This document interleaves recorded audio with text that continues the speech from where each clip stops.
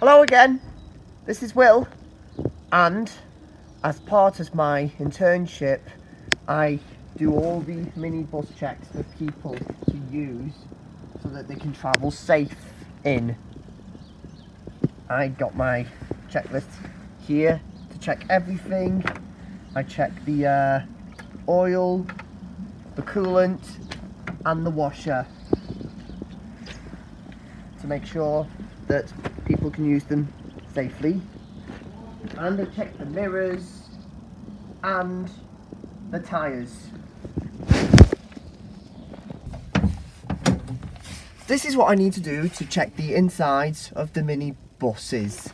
I need to check if there's safety triangles, high-vis jackets, and to make sure if we have torches that work and I also need to check if the seat belts are working properly and if the headrests are on the right places.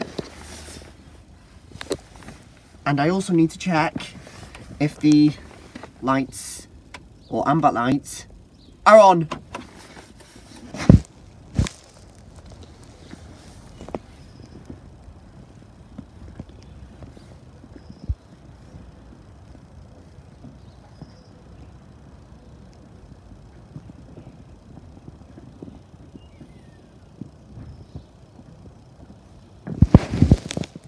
that's all the checks I do every day.